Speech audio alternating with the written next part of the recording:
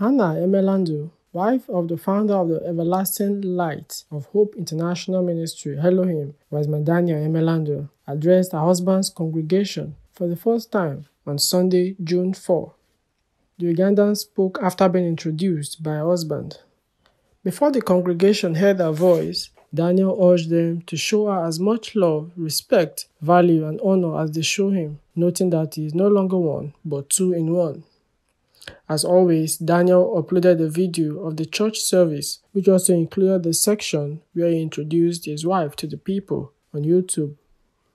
While Daniel was introducing her, Hannah was on her feet.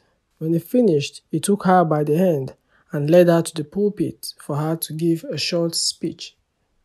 Hannah said she was happy to be in their presence and revealed that Daniel transitioned from being her spiritual father and mentor to her husband. I'm happy to be in your presence today. This is Anna Violet Emelandu, and by the special grace of God, I'm the wife to the man of God, Wiseman Daniel. God has been so good to me. Since the time of my birth, throughout my childhood, till the time I came to know about the man of God, Wiseman Daniel.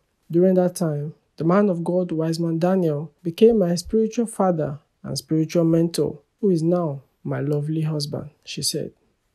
Photos of Wiseman Daniel and his bride surfaced on social media on Sunday, hours before the second memorial anniversary of Daniel's mentor, Prophet TB Joshua, who died on June 5, 2021.